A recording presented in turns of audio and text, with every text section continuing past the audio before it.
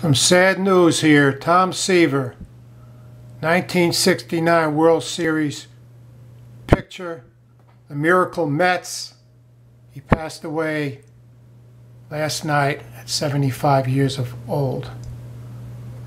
I used to like when he pitched. He used to wind up when he pitched.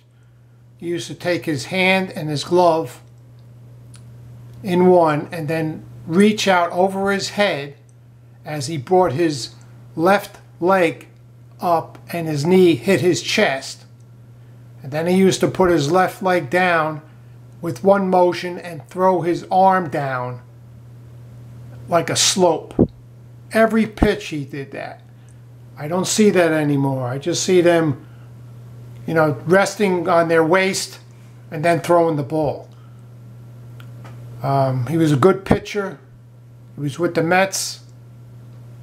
And then he went to uh, Cincinnati years after that. I think in the 90s or something he went there. Maybe before that. But uh, for 1969, Miracle Mets the World Series champion, Tom Seaver.